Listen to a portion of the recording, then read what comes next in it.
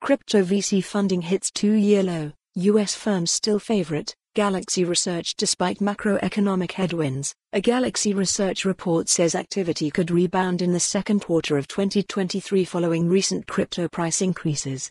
News own this piece of history collect this article as an join us on social networks venture capitalist VC investment into crypto firms continued to fall in the first quarter of 2023 yet despite the current regulatory turbulence for crypto in the United States it is still first for the number of firms raising capital according to a new report. An April 11 report from Galaxy Research, the research arm of crypto investment firm Galaxy Digital, said the $2.4 billion invested by VCs throughout Q1 2023 was the lowest sum invested since the last quarter of 2020.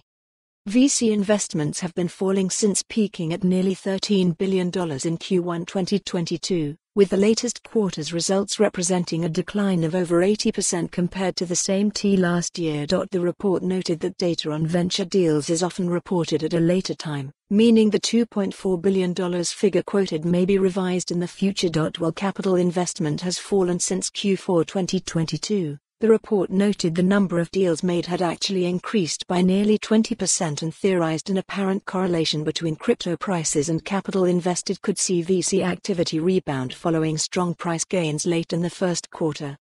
Related, Metalpha raising $100 million to offer grayscale Bitcoin products in Hong Kong while various statistics and anecdotal evidence suggest crypto follow the URL for the full article for more on this story, visit the news article link.